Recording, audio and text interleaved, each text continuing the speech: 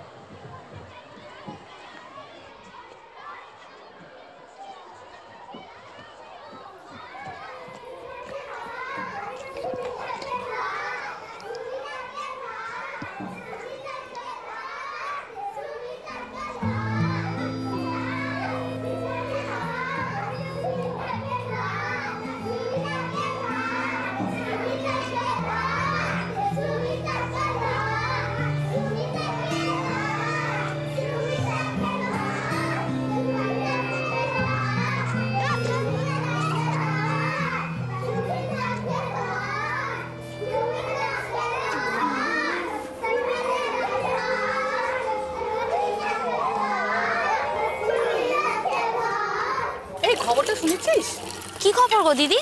আরে ওই মন্ডলপাড়া চিকেনকে চিনছিস?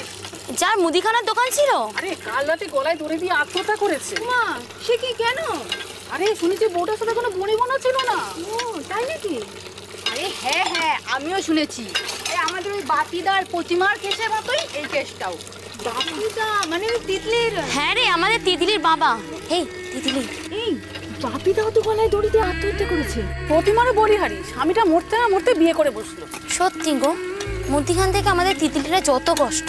যা বলেছ মেয়েটাকে মারি ঠিকঠাক খেতে দেয় না ভীষণ অত্যাচার করে। সত্যি এমন মা দেখিনি রে।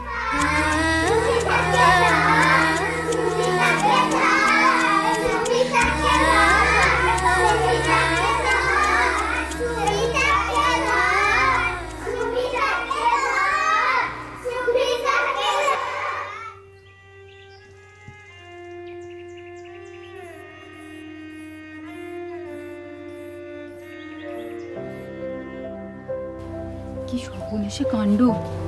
হঠাৎ বেশ গেল কেন? ভাগ্যিস দেখেছিলাম। ছি ছি ছি। এমন কেউ করে?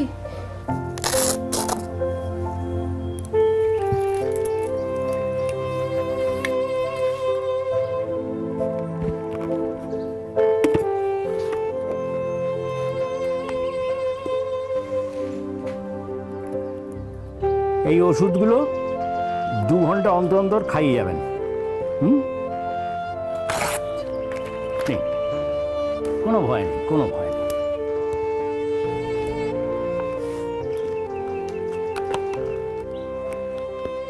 সেরে যাবে কোনো ভয় নেই সব সেরে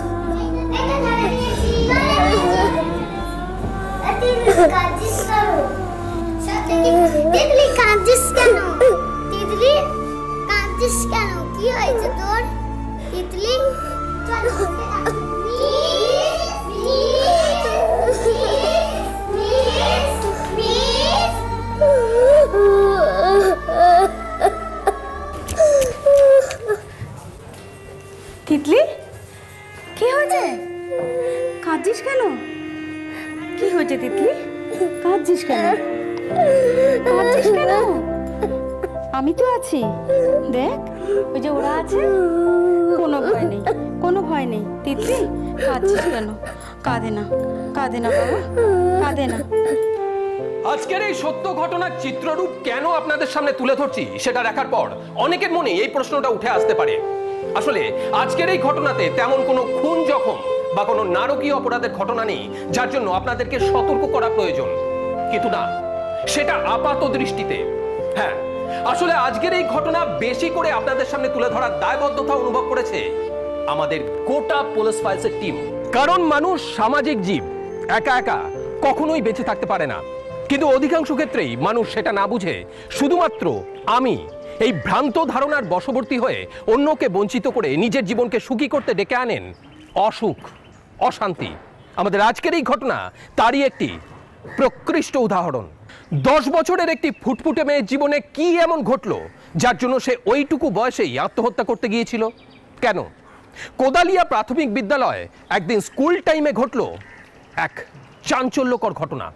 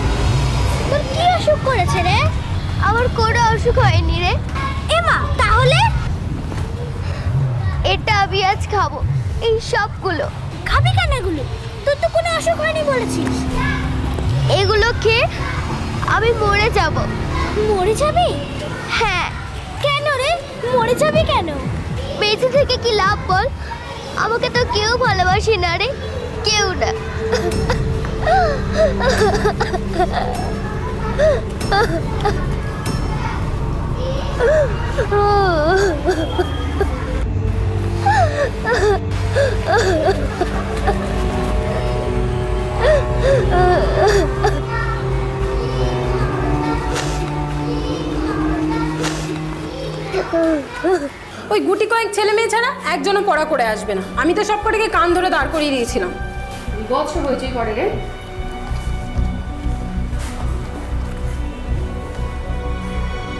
একি তুই এখানে? আয় আয় ভেতরে আয়। কি হয়েছে? বল। তিতলি? তিতলি? তিতলি কি করেছে? মারামারি করেছে না ঝগড়া করেছে? তাহলে কি হয়েছে বল?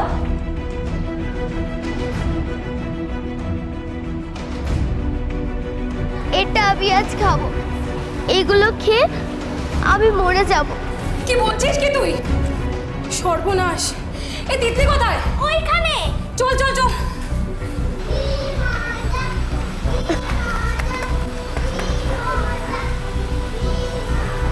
তিতলি ওষুধটা কোথায়? ওষুধটা কোথায়? কি হলো বল? কি রে ওষুধটা কোথায়?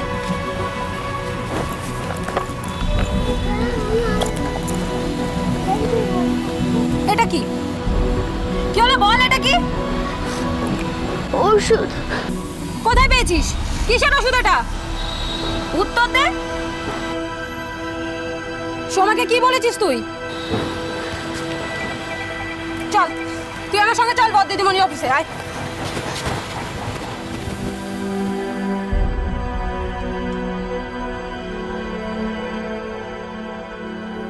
আয় আয় বলছি। বর্দি আজ একটু হলে সর্বনাশ হয়ে যাচ্ছিল। মানে? কি হয়েছে কি? কি বলছো তুমি? দেখুন এটা ও আজ সঙ্গে করে নিয়ে এসছে। কি এটা? বলছে তো ওষুধের শিশি কিন্তু ওর ক্লাসের বন্ধুকে বলেছে ও নাকি এটা খেয়ে মরে যাবে। মরে যাবে? মানে? হ্যাঁ বর্দি। তিতলি কি শুনছি এসব? এসো এদিকে এসো। যা বর্দি ডাকছে তো। আমি বকবো না। কোনো ভয় নেই। এসো আমার কাছে।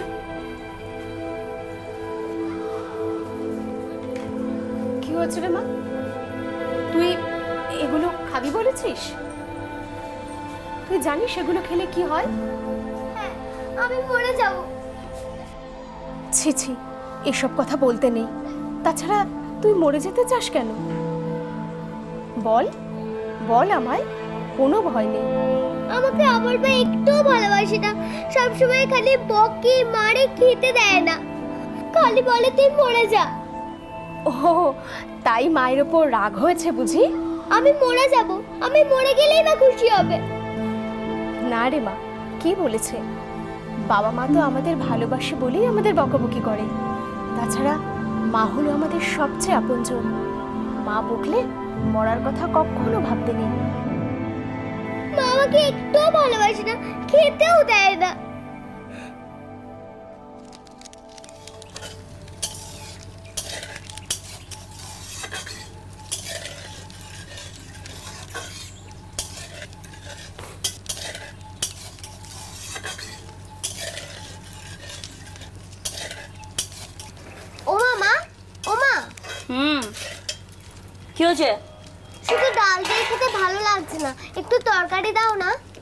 দিয়েছি সেটা দিয়ে খেয়ে ওঠ। একটুখানি দাও না মা। বললাম তো হবে না।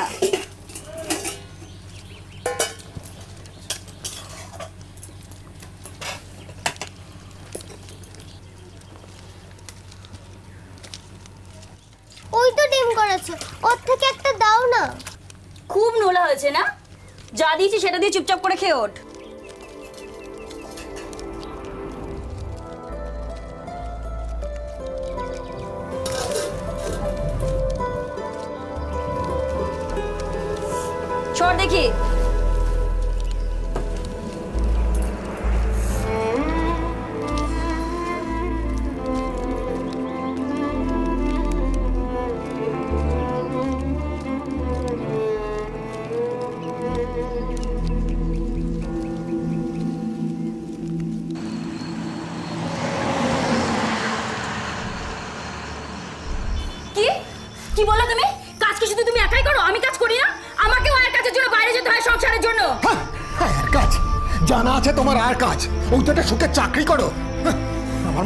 আমার মতো ঘাড়ে পিঠে ওই বস্তা নিয়ে সেলস ম্যানেজারি করলে মুখের বুকরি বেরিয়ে যেত। তাই নাকি? তা ক টাকা রোজগার হয় তোমারও সেলসম্যান চাকরি থাকে? ও আমি কিলো টাকা রোজগার করি না। করো তবে আমি যদি আয়ের ঠিক করতে বাইরে না বেরোতাম না তোমার ওই টাকাটা জলও গরম হতো না। চুপ! দু টাকা রোজগার করে কথা ফুটেছে তোমার কেন? বলি কি শুধু তোমার একা ফুটবে শোনো শোনো তুমি আমার মাথা গরম করিয়ে দিও না। আমারও মাথা মাথা আছে মাথা আমারও গরম হয়। তবে শয়তান জানোয়ার হ্যাঁ? বইটার হাত তুলছে আর কোনো মুরত আছে তোমার? তোমাকে বিয়ে করাটাই আমার ভুল আছে মা? কি চাই তোর এখানে? কি করছিস?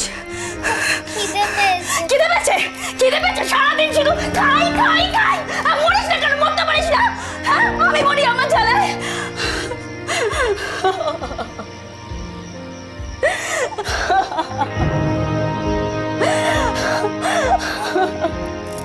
哈哈哈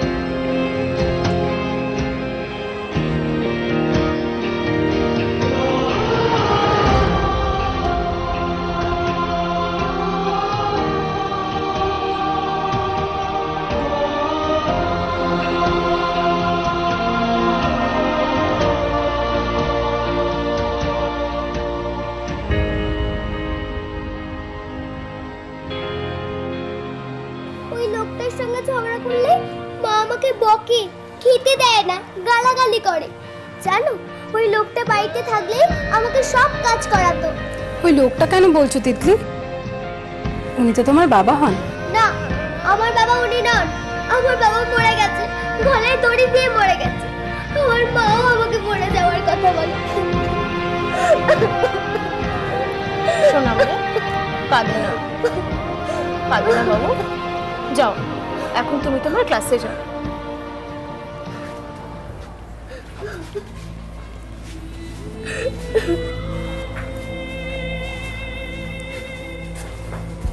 এবার কি করবেন দিদিমণি? কিছু একটা ব্যবস্থা তো করতেই হবে।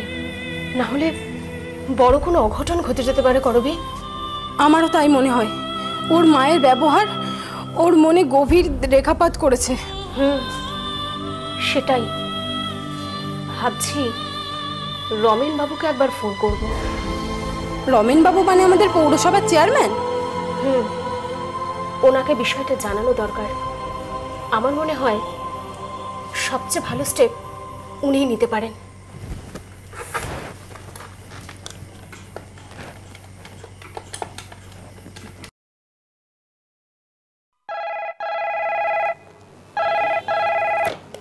হ্যালো নমস্কার স্যার। আমি কোদালিয়া প্রাইমারি স্কুলের হেডমিস্ট্রেস মলয়া সান্যাল কথা বলছি। ও হ্যাঁ হ্যাঁ মিসেস সান্যাল। বলুন বলুন।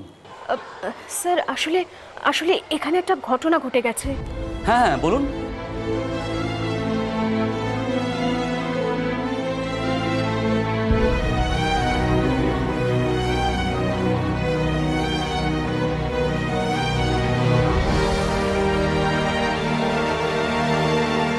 হ্যাঁ হ্যাঁ বুঝতে পেরেছি। আপনি একটা কাজ করুন। আপনি ইমিডিয়েট বাচ্চাটির দিদিমাকে ডেকে পাঠান। তারপর ওদের নিয়ে আমার অফিসে আসুন। আমি নিজে কথা বলব। থ্যাংক ইউ স্যার আমি আমি এক্ষুনি ব্যবস্থা করছি। করবি? তুমি এক্ষুনি তিতলির সঙ্গে কথা বলে দিদিমাকে ডেকে পাঠাও। তারপর তিতলি আর ও দিদিমাকে নিয়ে আমি চেয়ারম্যানের অফিসে যাব। ঠিক আছে বর্দিমণি। ঠিক আছে।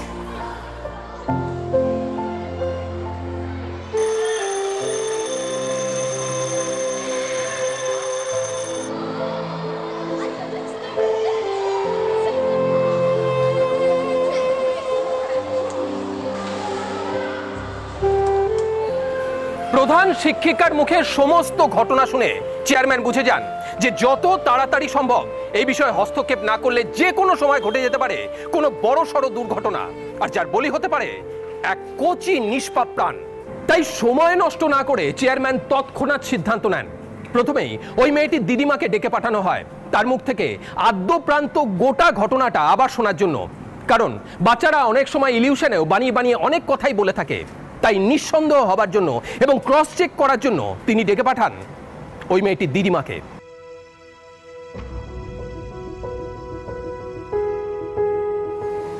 আশা করি বিষয়টার গুরুত্ব আপনি বুঝতে পারছেন বিমলা দেবী। হ্যাঁ সেটা তো আমি বুঝতেই পারছি স্যার। তবে জানেন তো স্যার এটা আমি অনেক আগেই আন্দাজ করেছিলাম। আর তার জন্য আমার মেয়েকে আমি অনেক বুঝিয়েছিলাম কিন্তু সে আমার কোনো কথা কানে নেয়নি। যেমন শোনেনি, যখন ওর বাবা মারা গিয়েছিল তখন। আসলে আসলে বাবা যখন মারা গেছিল না, তখন ওর বয়স ছিল মাত্র দেড় বছর।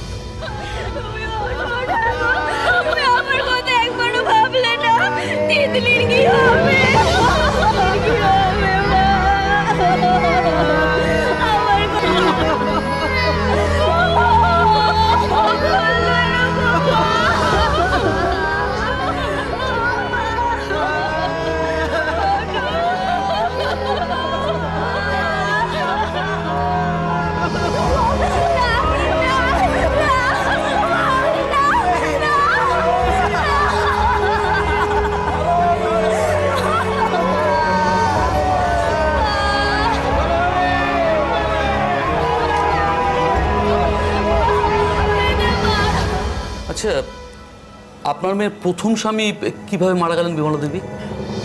আমার জামাই আত্মহত্যা করেছিল। কেন? তা তা তো জানি না স্যার। আমার মেয়ে আর জামাই আমাকে কোনোদিন কিছু বলেনি। তবে এটা আমি জানি যে ওদের দুজনে বনা ছিল না। হুম। তারপর? আসলে আমার নাতনি মানে তিতলির বাবা যখন মারা যায়, তখন ওর মাত্র দেড় বছর বয়স। অল্প বয়সে বিধবা হয়ে আমার মেয়ে খুব বিপদে পড়েছিল। তারপর আস্তে আস্তে সামলে উঠেছিল। আয়ার কাজ করে নিজের আর মেয়ের খরচ চালাতো। তারপর বেশ কয়েক বছর কেটে গেল। আমার নাতনি আস্তে আস্তে বড় হলো। ওকে স্কুলে ভর্তি করা হলো। জানেন তো স্যার, আমার নাতনি না পড়াশোনায় খুব ভালো।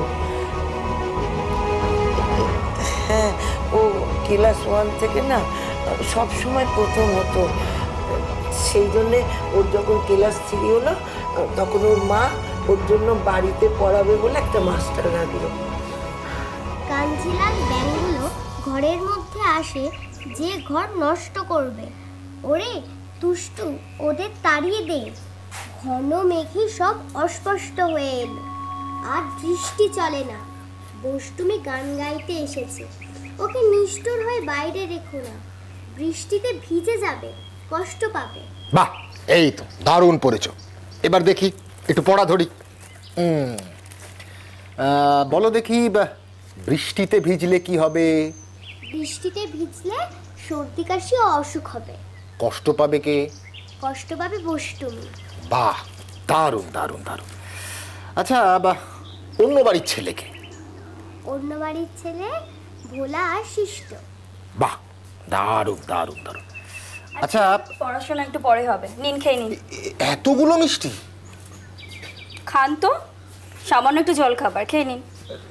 নাম মানে আবার নানা করছেন মিষ্টি মুখটা করে নিন।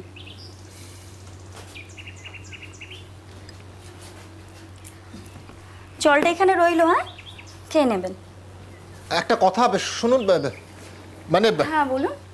আমি ওকে সব ঠিকমতো পড়াচ্ছি তবে একটু ওই বানান ভুল বা ওই উচ্চারণ একটু ভুল হচ্ছে। আচ্ছা। একটু দেখবেন হ্যাঁ? আপনি তো আছেন সেটার জন্য। না না আমি তো অবশ্যই আছি। কিন্তু আমি ওই বাড়িতে যেগুলো করতে দেবো ওগুলো একটু করিয়ে রাখলে ভালো হয়। আচ্ছা ঠিক আছে। খেয়ে নিন। নাও। তুমি বা- বা- পড়াগুলো পড়ো। আমি একসাথে দুটো পড়া ধরবো।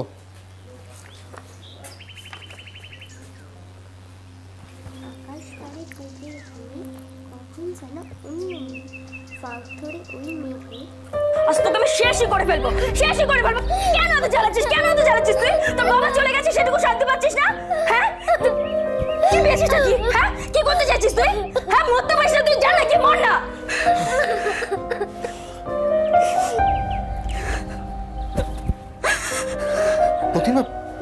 ছোট একটা মেয়ে বাচ্চা মেয়ে। এভাবে মেরো না।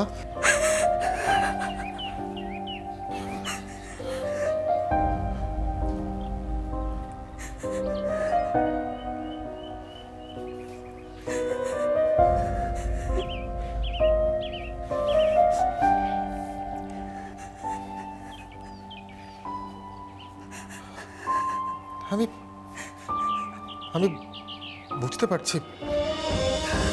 তোমার উপর অনেক চাপ অনেক প্রেশার কিন্তু কিন্তু সমস্যা তো আসবেই। এভাবে ভেঙে পড়লে চলে। আমি আর পারছি না অমিত। ওর বাবা চলে যাওয়ার পর থেকে আমার জীবনটা একেবারে এলোমেলো হয়ে গেছে।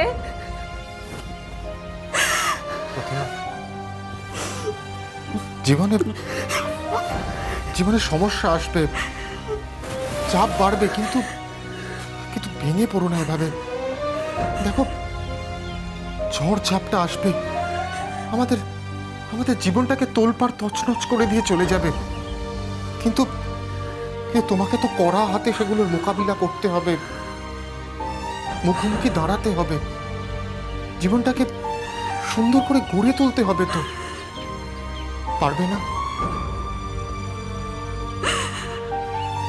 যে বড় একা, অমিত। আর একা একা যে কোনো কিছু মোকাবিলা করা যায় না।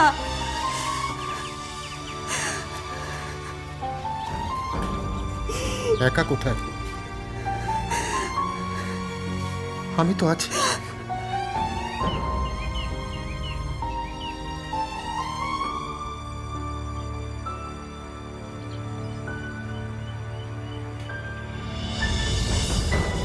হ্যাঁ প্রতিভা। আমি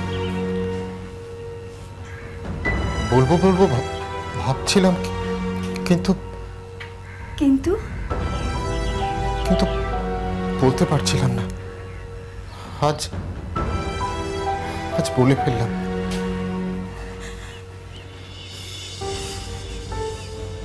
আমি আমি তোমাকে ভালোবাসি প্রতিমা। তোমাকে বিয়ে করতে চাই।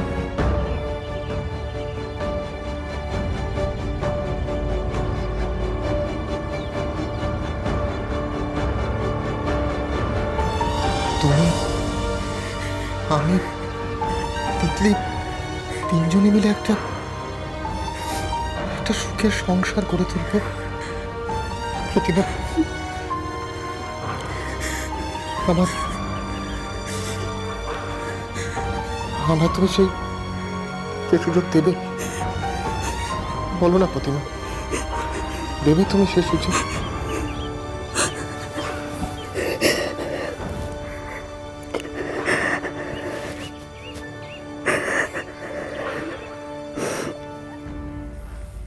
অমিত।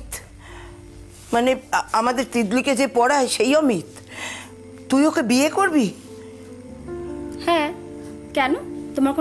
আছে? না না বা- আপত্তি থাকবে কেন? কিন্তু আপত্তি নেই অথচ কিন্তু কিন্তু করছ। না আমি ভাবছিলাম ওই তিতলিটার কথা। আচ্ছা ও কি অমিতকে বাবা বলে মেনে নিতে পারবে? কেন? কেন পারবে না? ওর কি ওর বাবাকে মনে আছে? আর তাছাড়া আমি কতদিন এরকম বিধবা হয়ে একা একাই কাটিয়ে দেবো বলো? আমার দ্বারা সেটা হবে না মা। আমি আমি সেদিনই বুঝেছিলাম স্যার আমার মেয়ের কাছে তার জীবন তার চাওয়া পাওয়া আর তার আনন্দ ফুর্তিটাই সব থেকে বেশি ছিল। এই এই মেয়ের টান বা ভালোবাসা তার কাছে কিছুই ছিল না। তারপর ওরা বিয়ে করে তাই তো? হ্যাঁ কিন্তু জানেন তো আমার নাতনি ওই ওদের বিয়েটা কিছুতেই মেনে নিতে পারেনি। আমার মেয়ে আমার মেয়ে অনেক চেষ্টা করতো যে অমিতকে বাবা বলে ডাকাতে। কিন্তু ও ও কোনোদিন রাজি হয়নি ওকে বাবা বলে ডাকতে। আর আর সেই জন্য ওদের প্রায়ই অশান্তি লেগেই থাকতো। না উনি আমার বাবা নয়। তুই বাবা বলে ডাকবি হ্যাঁ কি না সেটা বল। আমি বলব না। তিতলি মাথাটা গরম করিস না কিন্তু বাবা বলে ডাক বলছি। উনি আমার বাবা নন। আমার বাবা মরে গেছে। তোর বাবার কথা মনে আছে তোর? হ্যাঁ? এখন যাকে বলছি বাবা বলে ডাকতে তুই তাকে বাবা বলে ডাকবি। না বলব না। খুব বার বেড়ে গেছিস কিন্তু বলে দিলাম। বেশি ঠেটামো করছিস। আজ তো সব ঠেটামো ঘোচাবো আমি। ডাক বাবা বলে ডাক বলছি? না আমি কিছুতেই বাবা বলব না। তিতলি! আমি বাবা বলব না। তোর বড্ড বড্ড বার বেড়েছিস বড্ড বার বেড়েছিস তুই। ছেড়ে দাও না মারছো কেন? যদি না বলতে চান বলবে না। তুই বাবা বলে ডাকবি? না তবে রে তোর আজকে একদিন কি আমার একদিন? চল বাবা বলে ডাক বাবা বলে ডাক বলছি? না। তাহলে পড়ে থাকে এখানটায়। চলে এসো ঘর বন্দি থাকবে একদিন একদিন বাবা বলেই ডাকবে।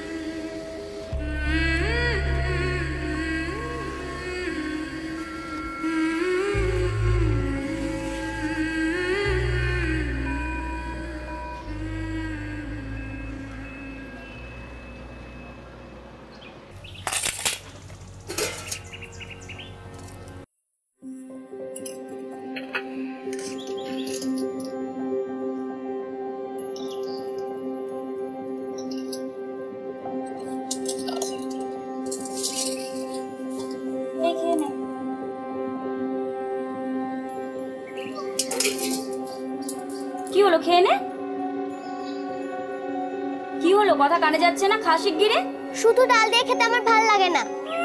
রাজরানীর বেটি উনার জন্য রোজ রোজ আমি মাংস পোলাও কালিয়া রেঁধে দেবো। খাসিক গিরি ওই তো তরকারি রেখেছো ওখান থেকে একটুখানি দাও না মা। শকুনের চোখ ঠিক দেখেছিস? যেটা দিয়েছি সেটা দিয়ে খেও দাও না মা। বললাম তো হবে না। একটুখানি দাও না। খেলে খা না খেলে না।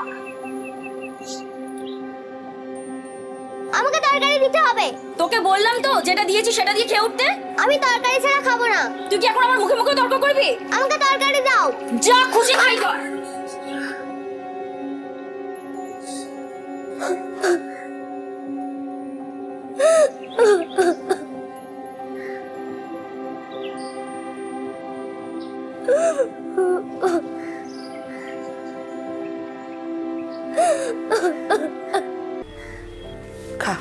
খা দিদি ভাই ভালো করে খা।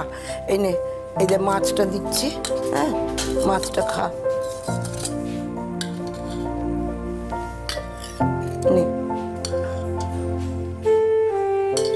মাছটা খা।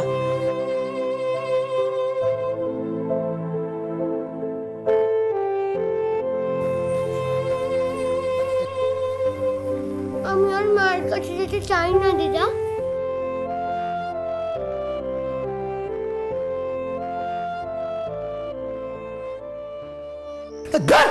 ভালো লাগে না। বাইরের কাজ করো বাড়ির কাজ করো পারব না বাড়ির কাজ করতে আমি। তাহলে কে করবে? আমি বাইরে আর কাজ করব এখানে ঘরে মেয়েকে দেখব কে সামলাবে এগুলো? আরে বাড়িতে তুমি থাকো না আমি তো বাইরে সব কাজ সামলাচ্ছি। তাই নাকি? তোমার আশা থাকলে না ভিক্ষা করে খেতে হতো। আমি না আমি না আমার সংসার করাটাই পুরো ভুল হয়েছে তোমার সাথে আমার। ও তাই নাকি? কে বলেছিল?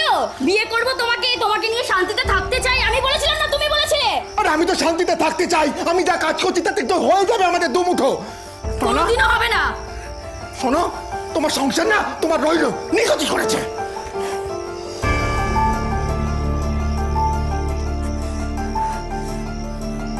তুই কি দেখছিস? কি দেখছিস তাকে দেখে? পড়তে পারছিস না? পড়তে পারছিস না? পড়তে পারছিস না? হ্যাঁ একটু যে পড়েছে তোর পড়াশোনা। হ্যাঁ? ওদের ওদের স্বামী স্ত্রীর মধ্যে না প্রায়ই অশান্তি হতো। আর সেই অশান্তির আঁচ এসে পড়তো আমার এই আমার এই নাতনি পেবরেটার গায়ে জানেন তো, অমিতের সঙ্গে ঝগড়া হলেই না আমার মেয়ে অকারণে অকারণে ওর গায়ে জাল মেটাতে আমার এই নাতনিটাকে বেধরক মারধর করতো!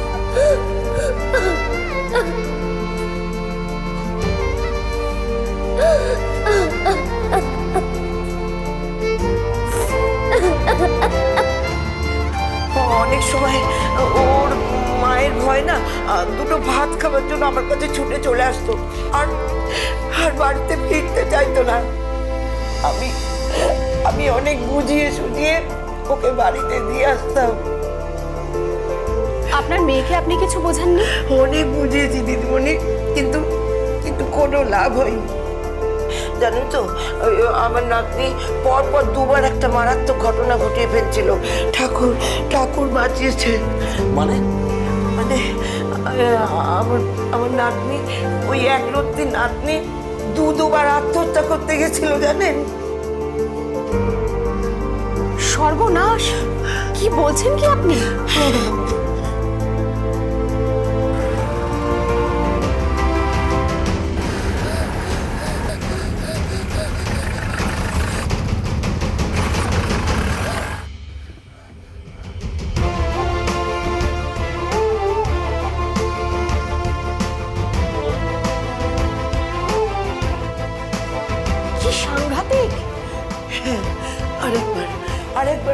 মায়ের পাথরকে খেয়ে ও গলায় দড়ি দিয়ে আত্মহত্যা করতে গেছিল।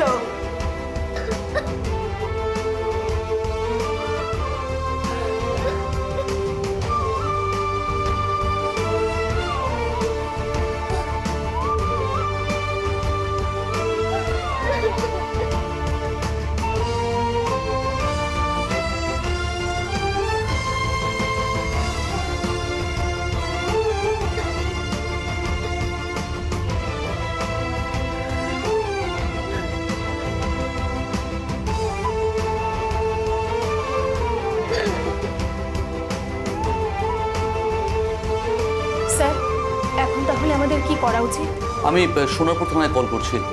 দেখছি পুলিশ যেন ইমিডিয়েট ওর মা আর সৎ বাবাকে অ্যারেস্ট করে কোনো স্টেপ নেয়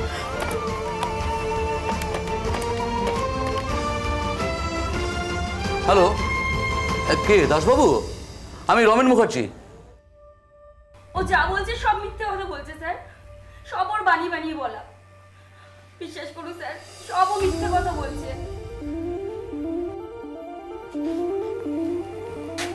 ওইটুকু একটা মেয়ে। বানিয়ে বানিয়ে এত কথা বলল। আমি তোর মা স্যার। আমি ওকে চিনি। সাজিয়ে গুছিয়ে মিথ্যে কথা বলে। আর এমন ভাবে মিথ্যে কথা বলবে না যে কারও সাধ্যই নেই অবিশ্বাস করবে।